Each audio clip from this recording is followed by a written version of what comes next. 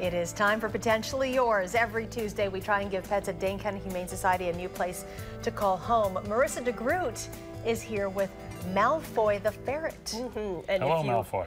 If you're a Harry Potter fan, yes. well, he doesn't match his name at all. He is a big goofball. uh, Malfoy here is a male ferret.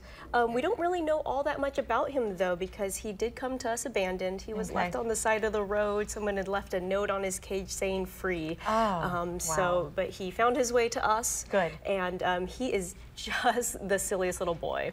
Um, gets along well with kids. Our critter cuddlers at uh -huh. the uh-huh. Humane Society say he is just fantastic.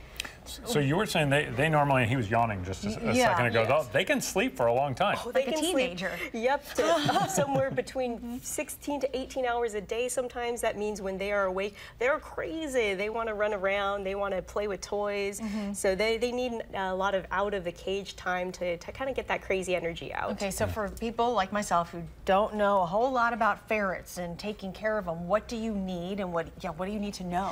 Um, a multi-layer cage is always great because again, they like to run around, uh, lots of toys, mm -hmm. and mm-hmm. you can litter train them.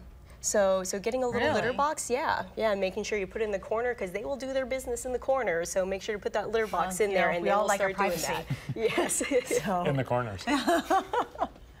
it's an interesting animal, though. I mean, you don't see a whole lot of ferrets necessarily that are. He's really trying. He wants to read a script. Yeah. You can go, go ahead and read that. so they will do well with kids. They could. Um, you know, we normally suggest a little bit older kids, just yeah. because these guys can be a bit of a handful mm -hmm. for younger kids.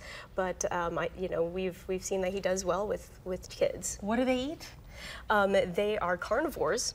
So there's a special mix for them, and then they can have little treats here and there, but mostly they have a nice ferret mix that they like. And would it uh, be wise to get another friend for Malfoy? They could. They, they okay. are social creatures. Oh, okay. thank you. Oh, another thank you Slytherin, maybe? Uh, yeah, that was nice.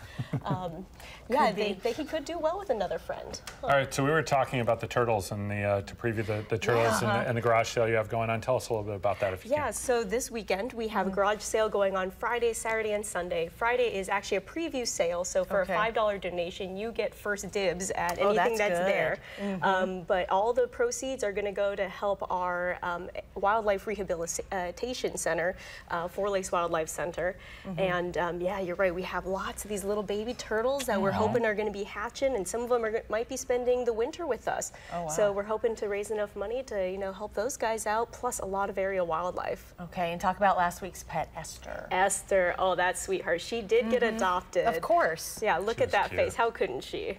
Especially that unique coloring. Just gorgeous. All right, so now we have to get Malfoy. Malfoy do you have any other here. ferrets? We do have some other ferrets there right now, so you okay. can come check out. So you can have a Malfoy friend. over at the main shelter. Okay, remember they sleep for a long time. 16, 18 hours. Yeah. Mm -hmm. I wish we could do that Yeah, a little jealous. Yeah. yeah. Marissa, Thanks, thank Marissa. you. Oh, thank you. All right, so if you're interested in adopting or checking out other animals at Dane County Humane Society, go to giveshelter.org or set up an appointment at 838-0413. As we head to break, let's take a look at two animals who are available Hi. at Green County. Bogey. Humane Society. Hello, Bogey. Mm -hmm. We're going to check on traffic with Pat Gallagher when News 3 This Morning returns.